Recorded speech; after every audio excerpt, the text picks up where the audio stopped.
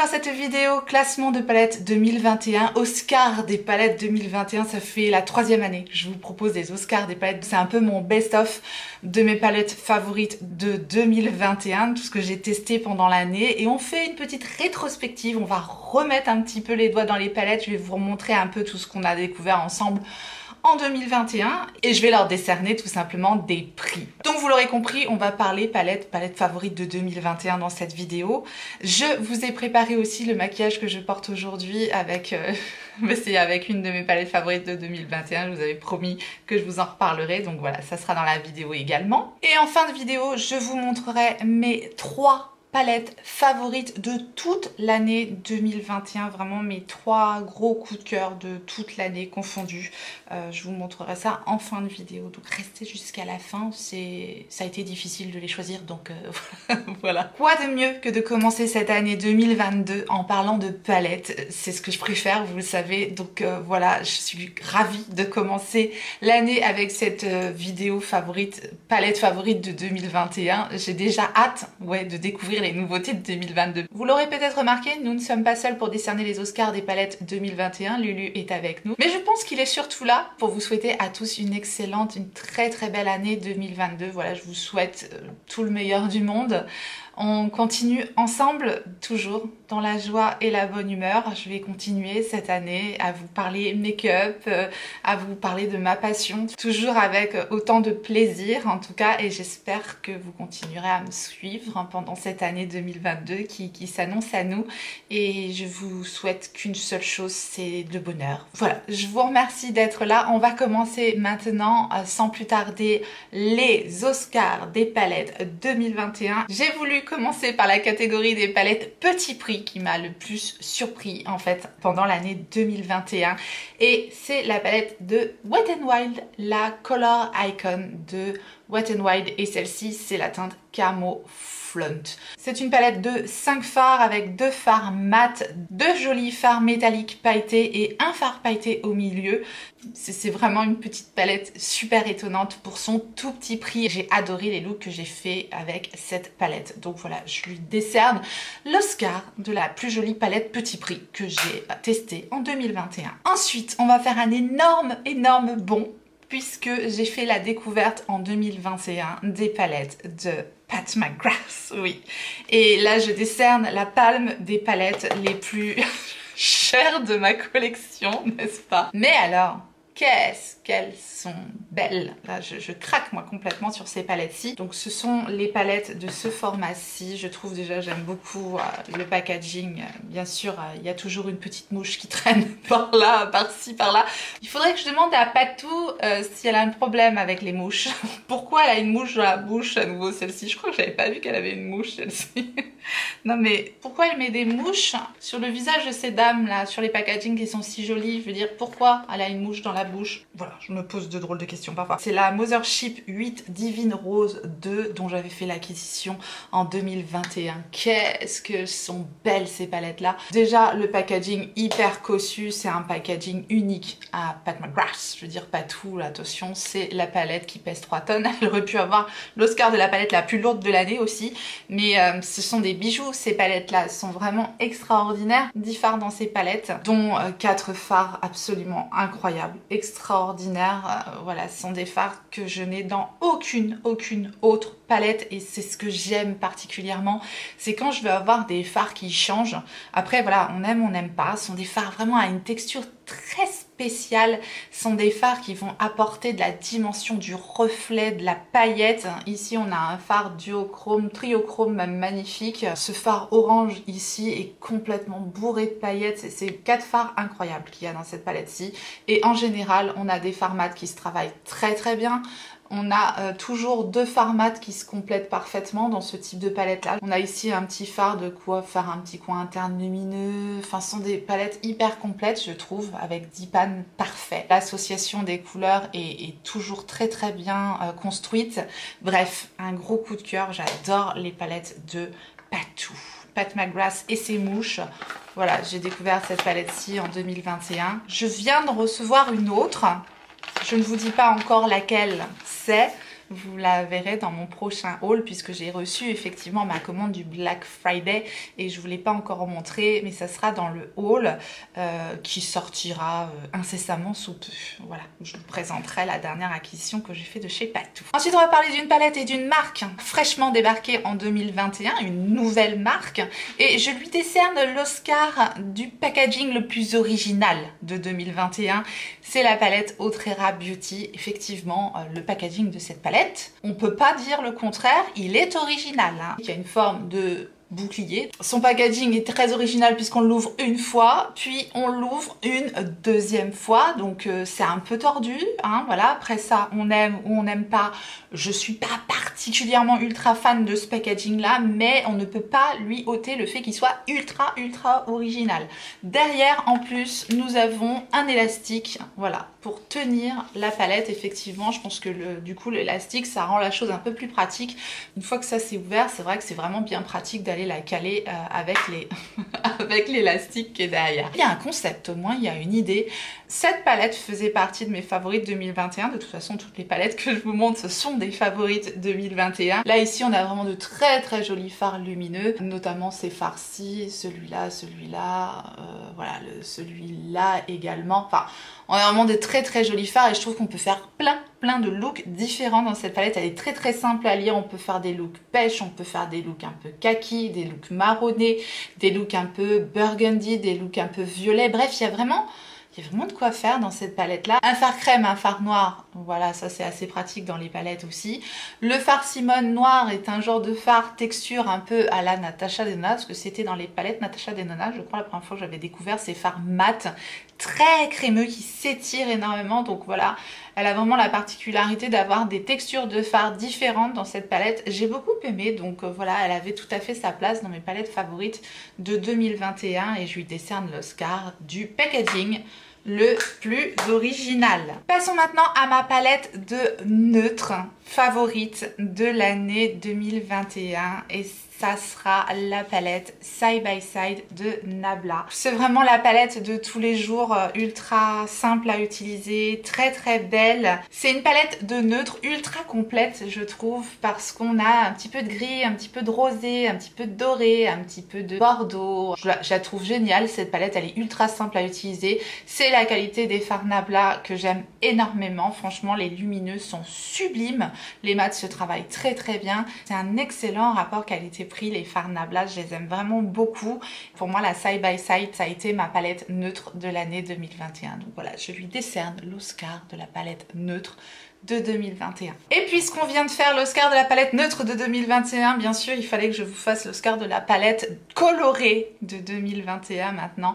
Et bien sûr, vous serez pas étonnés, c'est la Circo Loco de Natasha Denona. Alors là, niveau couleur, qualité, pigmentation, c'est aussi peut-être ma palette la plus pigmentée que j'ai pu tester en 2021. L'univers est ultra ultra coloré, là on peut pas, on peut pas dire le contraire.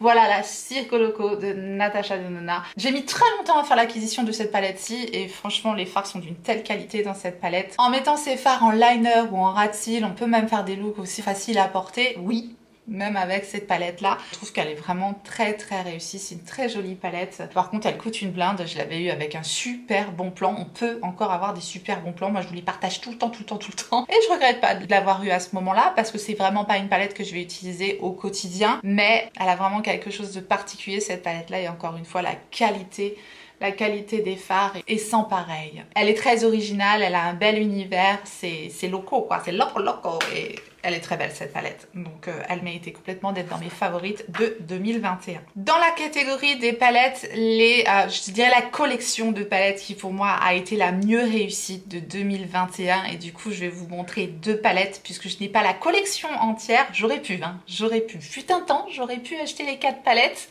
mais je n'en ai pris que deux. quel suspense hein. C'est la collection Obsession, la collection Wild d'Huda Beauty. J'ai pour ma part craqué pour la Tiger et la Jaguar, mais les deux autres étaient aussi très très jolies. Ce sont deux palettes tout à fait différentes et vraiment c'est l'Oscar de la collection la plus réussite parce que je trouve que les quatre, les quatre palettes dans cette collection étaient vraiment très très très jolies. Chacune des palettes ont un univers, le packaging, j'adore la color story de la palette Jaguar, l'univers qu'il y a dans cette palette je trouve très particulier, il y a des toppers sublimes. La force aussi de ces palettes là c'est de proposer des fards un petit peu euh, différents les uns des autres, on a des fards métalliques, on a des fards toppers, topper duochrome. On a des phares mat, bien évidemment, de très très jolis phares. Par contre, la plupart du temps, les phares Huda Beauty, moi je préfère quand même les travailler avec le doigt. Sinon, ça risque de faire des chutes. Et le fait de les appliquer au doigt aussi, ça permet de bien écraser le pigment et de bien le fixer sur la paupière pour éviter d'avoir des chutes aussi toute la journée. Donc c'est vraiment au doigt que je préfère travailler ces, ces ces phares là et la deuxième c'est donc la Tiger et j'aime énormément cette palette-ci également. Ça fait des maquillages frais ça fait des looks euh, différents. Vraiment je fais des choses voilà ça, change. Il y a des petites touches de jaune des petites touches de doré d'ocre. J'aime bien ce genre de couleur là je trouve ces phares là super jolis voilà, elle a son petit truc et c'est pareil, son topper au milieu là. Très très jolie palette, donc euh, grosse réussite cette collection Wild d'Uda Beauty. Je trouve vraiment que ça a été la réussite de 2021 euh, avec ces petites palettes. Passons maintenant à une autre palette favorite bien sûr et cette fois-ci je décerne l'Oscar du pire packaging de palette de l'année 2021. Et si vous me connaissez, vous aurez peut-être euh, trouvé à quelle palette je vais décerner l'Oscar du pire packaging de l'année 2021. C'est bien sûr la palette poubelle.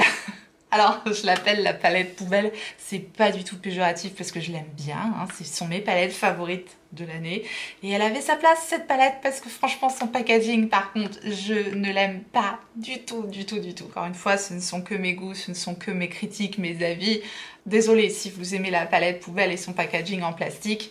Perso, ça me gêne vraiment, quoi. C'est, voilà. Bon, elle a l'avantage d'être totalement recyclable, tant mieux. C'est du packaging recyclable avec du coup des étoiles de euh, recyclage dessus. Donc euh, ce sont des étoiles vraiment avec le cycle de recyclage comme on trouve sur des poubelles. Moi je, pourrais en parler une demi-heure de ce packaging, ça m'a complètement... Euh, ça me fait rire, hein, vaut mieux en rire n'est-ce pas? Mais elle a quand même un certain coût cette palette là, donc quand même le packaging, alors le plastique hyper cheap, hyper fin quoi, c'est waouh, c'est vraiment... là pour le coup, on est sûr qu'on paye pas la qualité du packaging. C'est vraiment euh, bon à, foutre à la poubelle. J'aime vraiment pas du tout ce packaging. En revanche, cette palette-ci, elle a quelque chose de différent encore une fois de mes autres palettes. Elle a tout à fait sa place dans les best-of de l'année 2021 bah, tout simplement parce que déjà elle m'a bien fait marrer avec son packaging les fards lumineux de cette palette ils ont vraiment quelque chose ils sont super crémeux très facile à porter, ça fait des looks doux, les mats sont pas fous, hein. vraiment j'aime bien utiliser un mat ou deux d'une autre palette ou un petit bronzer, voilà je fais pas des choses très compliquées, mais les fards lumineux de cette palette se suffisent à, eux-mêmes, regardez le joli kaki magnifique qu'il y a dans cette palette, bien pigmenté, les lumineux sont, sont fous dans cette palette là voilà je vous dis les maths c'est quand même moins ça mais euh, elle avait tout à fait sa place dans les best of de, 2021 cette palette là la palette Planète Fanatique de KVD Vegan Beauty. Puisqu'on a fait le pire packaging de l'année 2021, on va parler du plus joli packaging de 2021 pour ma part. Et c'est le packaging de la palette Terribly Paris de By la VIP Expert Palette Terribly Paris. Il est tellement joli le packaging de cette palette là, je sais pas si vous allez voir tous les détails de ce packaging, mais voilà c'est un rose gold comme ça avec des effets un peu métallisés. Ici on a un pont de Paris, la tour Eiffel, le Sacré-Cœur, un sublime soleil qu'on a rarement à Paris. enfin voilà. Bon moi je suis de Seine-et-Marne mais c'est pas très très loin de Paris, on a à peu près le même climat aujourd'hui aujourd'hui on a du soleil, on va pas se plaindre. Petit point météo au passage, mais euh, voilà, il fait que flotter hein, actuellement. Lulu s'en va, il en a marre de parler de palette. Voilà, je trouve le packaging de cette palette vraiment ultra ultra raffiné, très travaillé, totalement ciselé sur la palette. C'est très classe je trouve, j'aime beaucoup le packaging de cette palette là. C'est une belle palette de neutre, ce sont des fards ultra ultra faciles à travailler. C'est pas une palette ultra pailletée, ultra scintillante, c'est vraiment une palette pour tous les jours, pour faire des maquillages classe, faciles, ultra rapides et euh, bien bien pigmentés. Ce sont des fards satinés, très particuliers, donc euh, voilà, elle avait tout à fait sa place dans mes palettes favorites de 2021. Je l'aime beaucoup. Passons maintenant à la catégorie découverte de l'année 2021. C'est la marque Rare Beauty, cette petite palette True to Myself qui est composée de fards en forme de, de croissant de lune. Ça a été vraiment ma petite découverte de 2021, cette palette avec ces fards qui se travaillent tellement facilement. Ce sont quand même des jolies couleurs. Voilà, ça peut vraiment plaire au plus grand nombre parce qu'elle est ultra simple à utiliser. Elle va quand même apporter une petite touche de peps dans les maquillages. Notamment, on peut rajouter un bon paquet de paillettes puisque le plus grand phare de la palette c'est le phare pailleté. On a un très très joli phare duochrome ici, on ne le verra pas à la caméra mais il a des reflets orangés, dorés, rosés. Il est très très joli ce, ce ci Je trouve les harmonies de mat euh, assez bien choisies et j'aime beaucoup. Elle est fraîche cette palette là, je, la trouve très simple à utiliser. Ça a été une belle découverte en 2021 ces petites palettes et la marque Rare Beauty en général dans sa globalité, à part quelques produits. Ça a été une belle découverte en 2021. Passons maintenant à la catégorie Passons maintenant à la catégorie des palettes que j'ai failli louper. J'ai failli passer à côté de cette palette là parce que c'est pas une palette du coup je crois sortie en 2021 alors que les autres il me semble que ce sont des palettes de 2021 peut-être pas mais c'est pas grave en tout cas moi je les ai découvertes en 2021. En tout état de cause j'ai failli rater cette palette, j'ai failli passer à côté de cette palette. Encore un suspense de dingue, oui oui oui. C'est la Naughty Nude Duda Beauty. Voilà j'ai fini par prendre cette palette parce que j'ai eu une super promo de Il y avait moins 25 sur Sephora, un cashback encore de moins 20% dessus. Bref, c'était une super affaire, donc euh, j'ai sauté le pas. Et vraiment, mais que je regrette pas d'avoir sauté le pas sur cette palette. Je dis mais je suis vraiment passée à côté de quelque chose parce qu'elle est sublime. Et c'est à cause de ce phare chelou là, tout globuleux, que j'avais pas sauté le pas. Franchement, c'est une très très jolie palette avec une harmonie de couleurs chaude, magnifique. Et pour l'automne, je la trouve sublime. Les fards là-dedans sont lumineux, pailletés, superbes. Encore une fois, c'est du Huda Beauty. Plutôt à travailler avec le doigt, bien écraser le pigment pour pas avoir de chute. Mais franchement, cette palette-là est magnifique. Donc je l'aime beaucoup. Ça fait partie du coup de mes favorites de 2021. Et ouais, j'ai vraiment failli passer à côté d'une beauté. Catégorie de palettes les plus pratiques de l'année et euh, elle est sortie dernièrement. J'ai eu le coup de cœur instantané quand j'ai vu cette palette. C'est encore Natasha Denona. Je dois dire que Natasha Denona est quand même bien présente ici dans les palettes puisque pour moi elle se défend quand même plutôt pas mal hein, au niveau euh, palette. Et c'est la Glam Face palette de Natasha Denona. Voilà, elle était du coup dans ma vidéo favorite du mois dernier euh, qui vient juste de sortir. C'est peut-être un petit peu redondant mais que voulez-vous? En, fin d'année j'ai eu plein plein de belles palettes à découvrir et dont cette Glam Face palette de Natasha Denona avec 5 fards nude, euh, fards à paupières nude parfait vraiment pour faire un look de tous les jours, rajouter un peu de paillettes, enfin moi j'aime beaucoup toujours quand ça scintille sur les yeux, c'est vraiment ce que j'adore, donc euh, il y a deux fards magnifiques pailletés. Pareil, j'aime bien les appliquer au doigt plutôt pour éviter les chutes, puisqu'ils sont quand même un petit peu granuleux quand même, mais ultra ultra pailletés, bref c'est superbe. Un très bel highlighter et gros gros coup de cœur sur le blush texture crème poudre, mais sublime couleur que ce blush ici qui se marie avec euh, quasiment tous les make-up. J'aime énormément le blush de cette palette. Je la trouve ultra complète, ultra pratique. Voilà, on n'a pas nécessairement toujours besoin de mettre un bronzer lorsqu'on fait un maquillage. On n'est pas obligé tout le temps, tout le temps de mettre un bronzer. Par contre, un blush, je trouve que c'est quand même assez indispensable pour donner un petit coup de peps, un petit coup de bonne mine. Le highlighter et le blush, bien sûr, peuvent être utilisés aussi en fard à paupières. Hein. Ça fait quand même une palette ultra complète. C'est du neutre, bien sûr, mais c'est vraiment ce que je préfère maintenant mettre au quotidien. C'est réussi, c'est du Natasha Denona. C'est une très très jolie palette, très pratique. Je l'aime énormément, donc elle est directement rentrée dans mes favorites de l'année. Passons maintenant à la catégorie des palettes. Pour moi, le meilleur rapport qualité-prix, et je pense que c'était déjà le cas l'année dernière, ou c'était Colourpop, je ne sais plus. Bref, cette année, l'Oscar du meilleur rapport qualité-prix est décerné à Beauty Bay. Oui, Beauty Bay et j'ai sélectionné particulièrement ces deux palettes là parce qu'elles faisaient clairement partie de mes palettes favorites en 2021. Ces deux palettes sont très très très belles. Celle-ci c'est la palette Fairy 2.0 42 euh, couleurs dans cette palette là elle est ultra ultra ultra complète. On peut faire plein de choses avec ces palettes là c'est très pigmenté. On a des fards mat on a des fards métallique. On a maintenant des métallisés crémeux pailletés sublimes.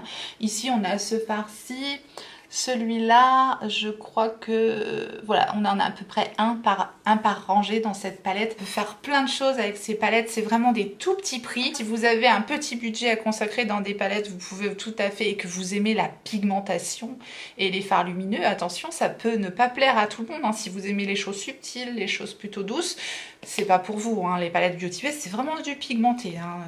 Et euh, c'est du pigmenté, c'est du métallisé, c'est du pailleté c'est très très très beau quand on veut quelque chose d'intense sur les paupières. Et la deuxième palette de Beauty Bay, donc dans mes favorites de 2021, c'est la Wilderness bien sûr. Elle est tellement bien réussie cette palette-ci, elle a un univers encore bah, wild. Ils se sont basés sur les quatre éléments, c'est pourquoi on retrouve cette harmonie de, couleurs. Je la trouve vraiment belle cette palette. Ce farci dans la palette est tellement, tellement, tellement beau.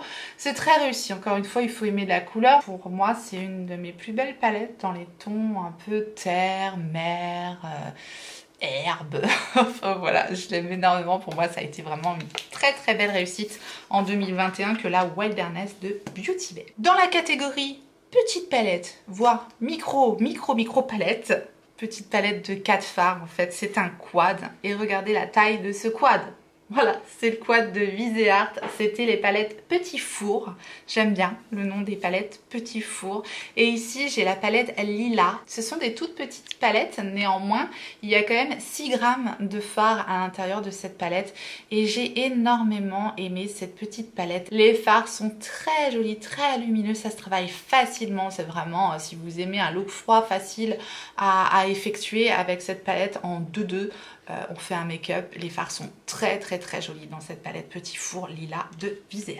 Allez, catégorie maintenant de la plus jolie palette de l'été. Oui, la Solstice palette de NARS. C'est elle qui a la palme, qui a l'Oscar de la palette la plus jolie de cet été. J'ai tellement, tellement aimé utiliser cette palette-ci. Les fards dans cette palette-là sont incroyables, mais vraiment incroyables. Si vous aimez le scintillant, si vous aimez les fards crémeux, il y a des fards là-dedans, ils valent des fards mono qu'on achète à 30 balles. C'est vraiment très, très joli. J'aime beaucoup l'harmonie des, teintes qu'il y a là-dedans. Un peu rouge, un peu coucher de soleil. Ça peut s'utiliser toute l'année, on est bien d'accord, hein, ce genre de fard-là mais c'est vrai qu'en été ça scintille, c'est très très beau. Euh, voilà, j'ai adoré, adoré cette palette-ci. Euh, voilà, elle aurait pu être dans mon top 3 de palettes, mais il y en a une autre. voilà. Et en contrepartie, ma palette préférée que j'ai utilisée là pendant les fêtes, que j'ai beaucoup beaucoup utilisé là pendant le mois de décembre. C'est la palette de Bobbi Brown et c'est la Lux Precious Metal Eyeshadow Palette. Donc celle-ci, elle a vraiment l'Oscar de la palette la plus jolie au point de vue texture, fard métallique, crémeux. C'est vraiment des fards tellement satinés, tellement fins, très très belle qualité. C'est vrai que ce sont que des fards du même type. Hein. J'ai adoré absolument cette palette-ci. C'est vraiment que je, l'ai eu euh, assez tardivement en 2021 aussi.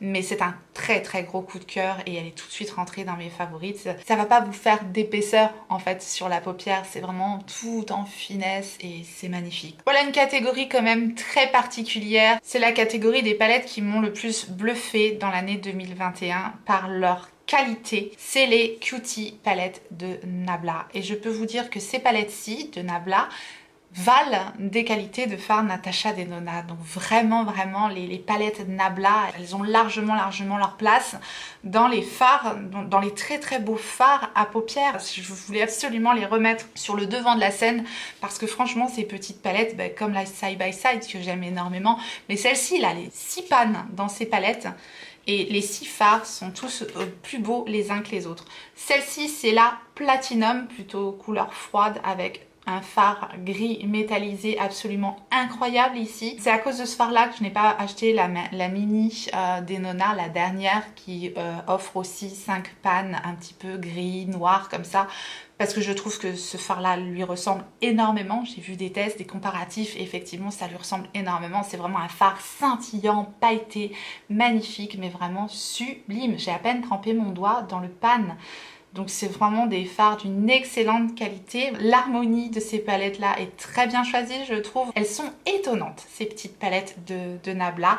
Et la deuxième, toujours de Nabla, Cutie Palette, cette fois-ci c'est la analogue. C'est tout simplement un univers différent, c'est beaucoup plus chaud à l'intérieur. Le phare Dark Room ici, c'est un phare mat crémeux qui s'étire à l'infini, exactement aussi comme les palettes Natasha Denona. Vraiment, Nabla, c'est une marque italienne d'excellente qualité. C'est vraiment de très jolis phares. Si vous ne connaissez pas les fards de la marque Nabla. Moi, je vous les conseille, les yeux fermés, les fards Nabla. Ils sont étonnants. Vous verrez, ils sont étonnants. Et avant de passer à mes trois palettes favorites de 2021, on va parler d'une dernière catégorie et c'est un petit peu la tristesse, un petit peu la tristesse de l'année 2021.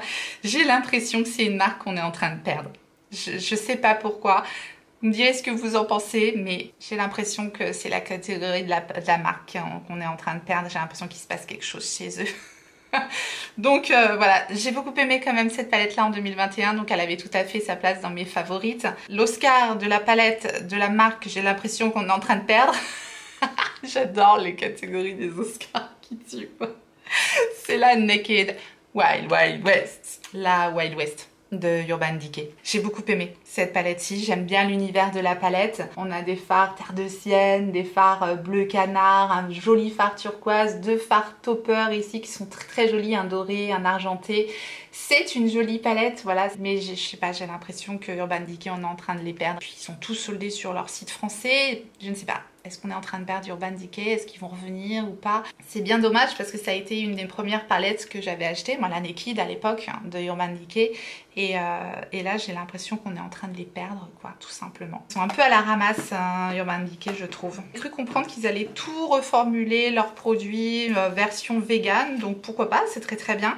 J'attends de voir, j'attends de voir, j'espère que vraiment on va retrouver Urban Decay en 2022. J'attends de voir ça avec impatience.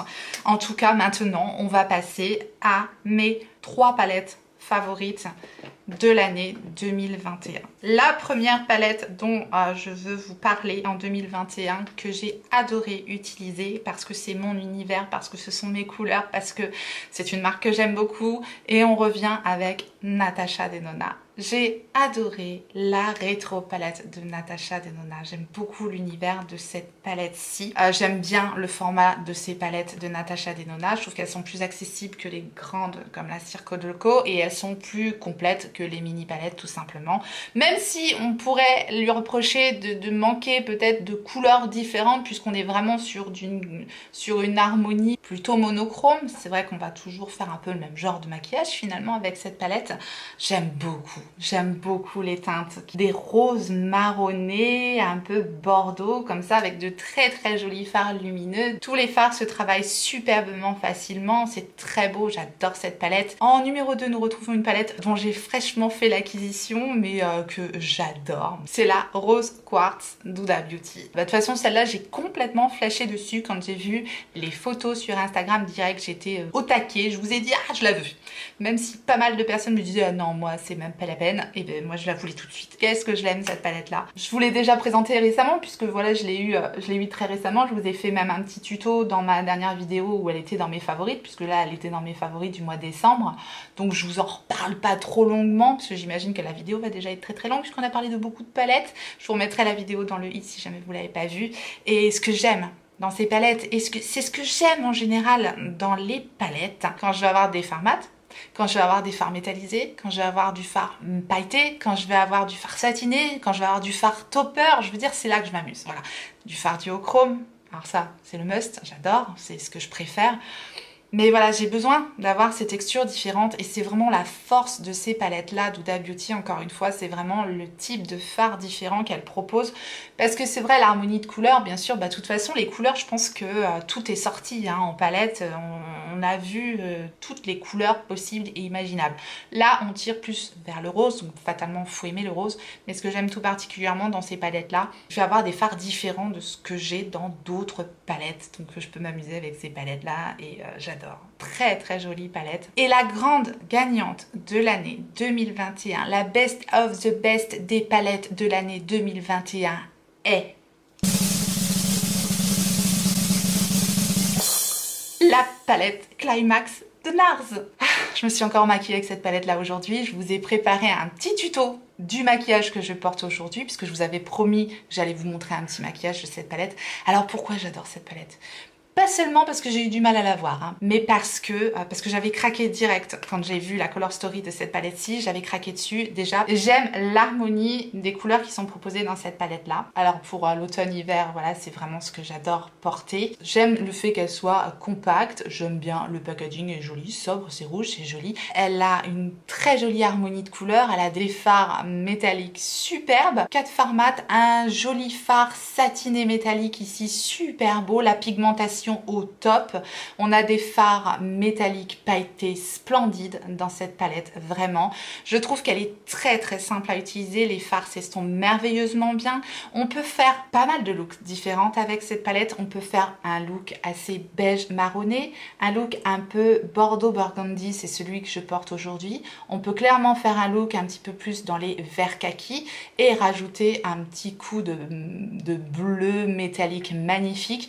Donc on peut faire vraiment pas mal de choses avec cette palette. Bref, je la trouve parfaite. Alors pour vous expliquer un petit peu ce que j'ai fait aujourd'hui sur mes yeux, j'ai tout simplement utilisé euh, le fard rose poudré sur mon creux de paupière. Ensuite j'ai appliqué le fard un peu rose gold avec euh, le doigt tout simplement. J'ai ajouté un peu du, fard un peu lit de vin euh, en coin externe. J'ai rajouté un petit peu le fard un peu kaki satiné magnifique là pour faire une jolie transition entre mon phare du coin externe et mon phare euh, métallique. En ras de cils tout simplement bah, j'ai pris un petit pinceau court plat pour dessiner mon ras de cils avec le phare bordeaux euh, de la palette. Mon ras de cils inférieur en coin externe et mon ras de cils supérieur également au niveau du coin externe que j'ai tout simplement estompé avec un petit pinceau et mon fard euh, rose, un petit peu beige, voilà, en ras de cils inférieur. J'ai rajouté mon crayon Pillow Talk de Charlotte Tilbury et j'ai rajouté une touche de mascara. Le mascara que j'ai utilisé c'est le Caution Extreme Lash Mascara de Hourglass que j'adore. Et voilà le résultat final. J'adore cette palette. Voilà, je l'ai eu que tardivement en 2021, mais euh, elle est fantastique vraiment fantastique. Aussi par son originalité, parce que ce type d'harmonie de couleurs, bah, je l'ai dans très peu de palettes. Le crémeux, le pailleté, le lumineux des fards de euh, ces palettes-là, c'est un petit peu comme la Solstice finalement que j'aurais pu mettre dans mes palettes favorites, mais comme j'ai mis celle-ci, je voulais pas que ce soit trop redondant, mais les pailletés de ces, palettes-là, ce sont vraiment des fards d'une très très belle qualité, euh, voilà, lumineux, crémeux, pailleté, comme j'aime. Donc c'est la gagnante de l'année, c'est elle qui a l'Oscar. Pour moi, elle la meilleure palette de 2021, tout simplement. Je vous mets un petit bonus des palettes que j'ai oubliées dans la vidéo. Il y a toujours un petit bonus hein, dans tout bon film, n'est-ce pas? En fait, j'ai complètement oublié. En, faisant le montage, je me suis rendu compte que j'avais oublié ces palettes-là. À mon sens, elles méritent qu'on en reparle parce que c'est vraiment des palettes que j'ai adorées en 2021. Donc voilà, bah vous vous rendre compte qu'il y a quand même beaucoup de palettes que j'ai adorées en 2021. Bref, c'est de KVD Vegan Beauty et si je ne me trompe pas, cette palette-ci, je l'ai eu également certainement début 2021. C'est la Age of Reality Eyeshadow palette. Et s'il y a bien une palette à avoir dans les nouvelles palettes de KVD Beauty, en fait, de 2021, je préfère celle-ci. Même si son packaging est en carton, hein, même si je l'appelle la palette en carton, le packaging est quand même un petit peu plus travaillé, un peu plus joli que euh, la fameuse planète fanatique euh, palette poubelle, quoi. Et en plus, les fards dans cette palette-ci sont franchement très très bien réussis, que ce soit les mats qui sont assez satinés, plutôt pas mal pigmentés par rapport à la palette poubelle, et les lumineux de cette palette-là sont fantastiques, notamment ce fard-ci, ce fard-là. Ils sont vraiment très très très beaux. Voilà, je tenais vraiment à remettre cette palette dans mes best-of de l'année 2021. Et voilà l'autre palette que j'ai oubliée. Oui, honte à moi, parce que franchement, cette palette-ci, je l'ai beaucoup utilisée. J'ai adoré la Sigma ambiance. C'est une palette de nœuds. Clairement, cette palette-là, euh, elle aurait pu être dans euh, ma palette favorite au niveau, euh, au point de vue nude. Mais voilà, j'ai choisi la side by side parce que je la trouve plus complète. Mais celle-ci, voilà, ces palettes Sigma là sont sublimes. Il y a des très très jolis lumineux. Voilà, c'est que dans les tons marronnés, dorés. C'est une palette aussi très très simple à, à, utiliser. Ça a été ma palette de tous les jours pendant un bon moment. Donc, fallait absolument que je la remette à l'honneur également dans mes best de l'année 2021. Voilà, je vous ai parlé d'énormément de palettes, je vous ai fait une petite rétrospective de toutes mes palettes de l'année 2021. J'espère que vous avez passé un bon moment. N'oubliez pas vous de me dire quelle a été votre gagnante de l'année 2021. Dites-moi, vous, quelle était votre palette préférée de l'année 2021 si vous arrivez à la choisir parce que c'est vraiment pas évident, ça n'a pas été évident. J'espère que ça vous a plu et si tel est le cas, laissez-moi un petit like en bas, juste en dessous de la vidéo pour me le faire savoir. Et si vous n'êtes pas encore abonné, eh bien abonnez-vous, bienvenue, activez votre clochette pour savoir quand est-ce que je ressortirai une vidéo. Et en attendant la prochaine, j'en profite pour vous souhaiter une très très belle, très très bonne, une merveilleuse année 2022. Et n'oubliez pas, on n'a qu'une vie. Et moi je vous fais des gros bisous.